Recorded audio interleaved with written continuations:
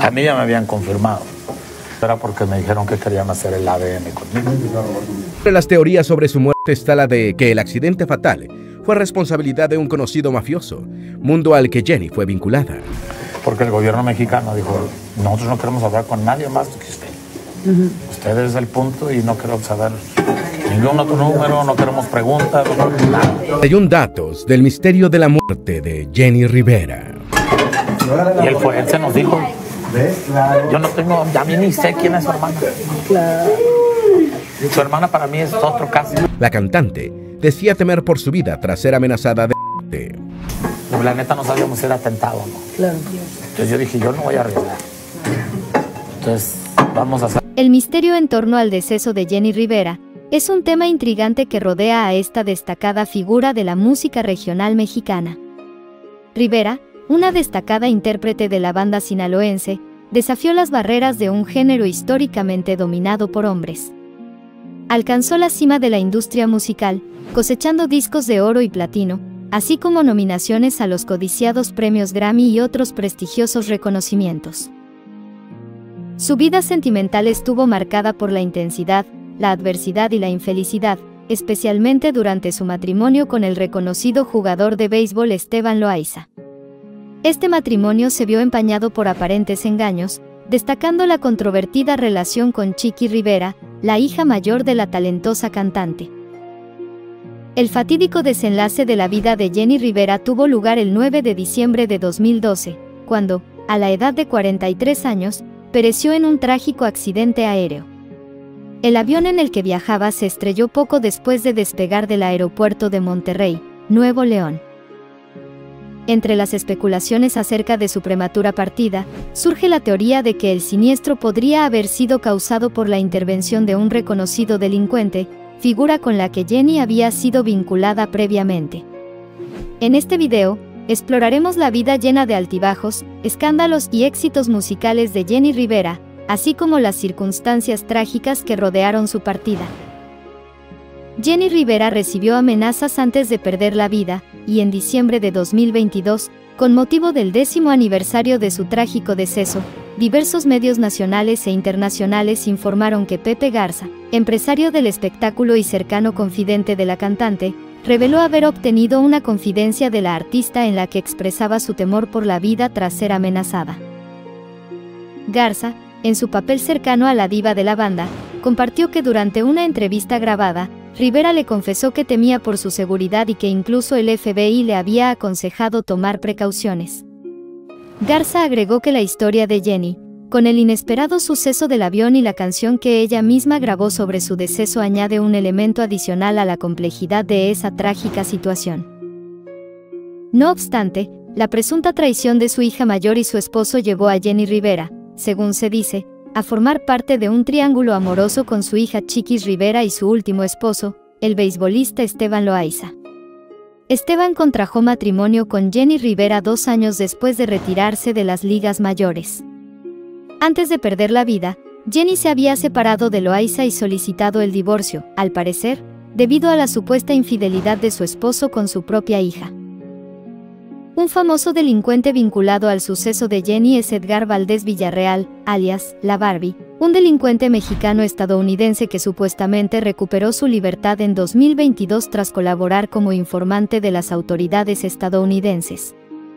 Se sostiene que fue el autor intelectual del deceso de Jenny Rivera.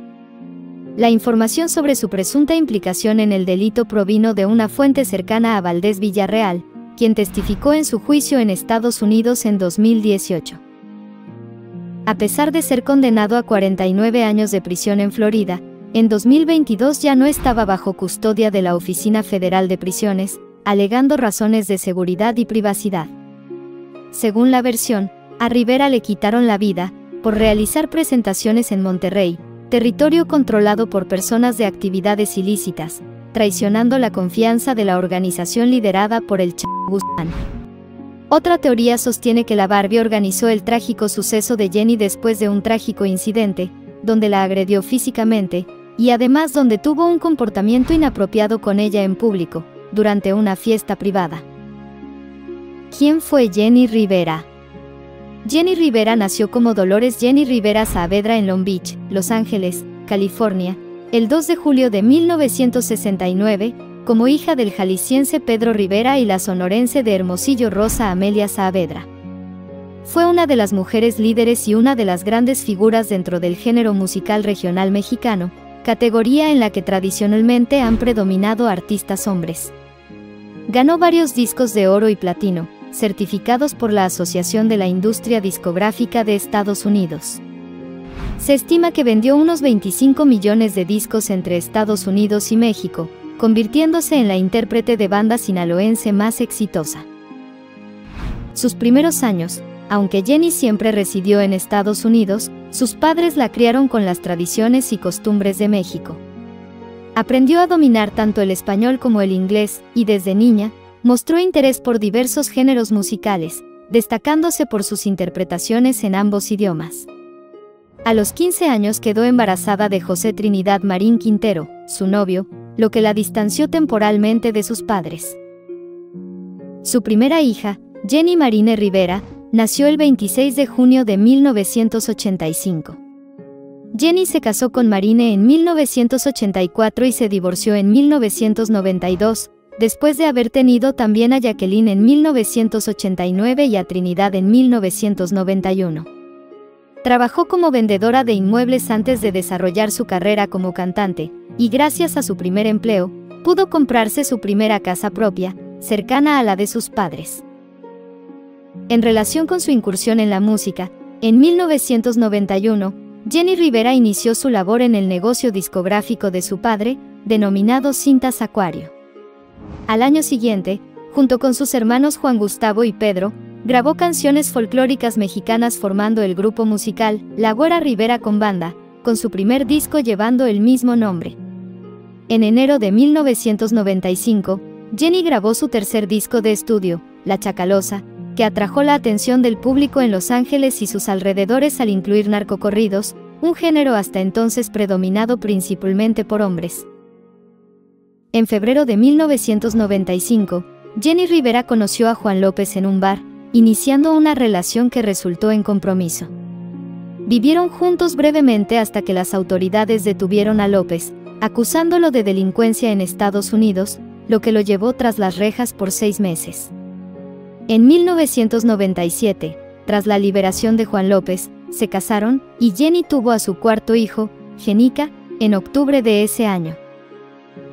En 1998, la cantante se separó de López por infidelidad, regresando a su antiguo trabajo de bienes raíces en Los Ángeles para sostener a sus cuatro hijos.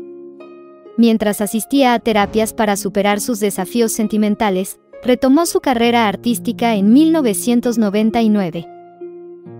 En 2001, nació su quinto y último hijo, Johnny Ángel. Durante este periodo, surgieron rumores acerca de que no estaba acumulando fortuna a través de la música, sino mediante el comercio de sustancias ilícitas. En 2005, en una conferencia de prensa, solicitó ayuda para la captura de su exesposo, José Trinidad Marín, acusado de perpetrar agresiones y hostigamiento lascivo contra miembros de su familia. ¿Qué opinan sobre este tema y todo lo que pasó Jenny Rivera? Recuerden que se encuentran en el canal Rumores Like. No duden en suscribirse y dar like a este video. Además, les invitamos a explorar nuestros otros videos para mantenerse siempre al tanto de lo que sucede en el mundo del espectáculo. Nos vemos en la próxima ocasión.